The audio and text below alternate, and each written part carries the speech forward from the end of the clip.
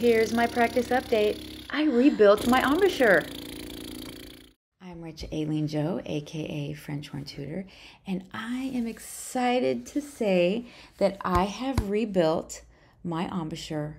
It took me eight months to do it, but I did it using Parascales and by having goals. So, performing, having performance goals helped me to manage my practice time so that I was ready to perform.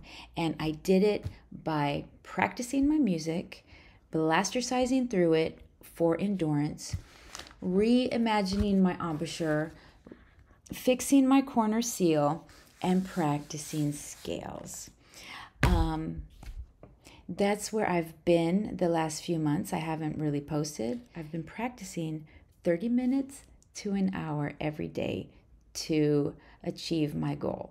And hmm, it's been awesome.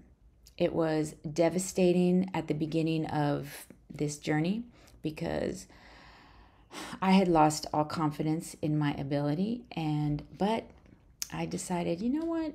Just because I quit the symphony doesn't mean I'm going to quit horn. So I've continued to practice, working on these skills, reimagining redefining um, my ability and you know it just takes a lot of practice and it takes determination. But if you practice and you have determination to work through your issues you can totally rebuild your embouchure. I think i'm going to be making more practice with me videos. There's a chance i might be doing some live practice sessions so I'm going to experiment with that. I spent the first part of this channel creating perfect videos without mistakes. But you know what? French horn is a difficult instrument, so let's just be real about it. So I'm going to put out these videos and why not? The buzz down, warm down.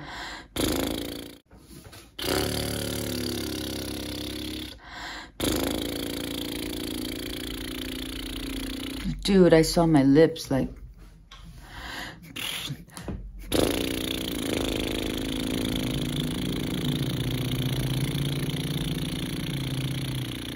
That was freaky.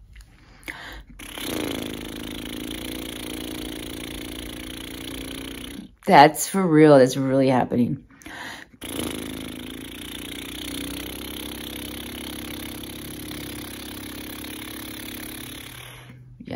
Okay. Bye.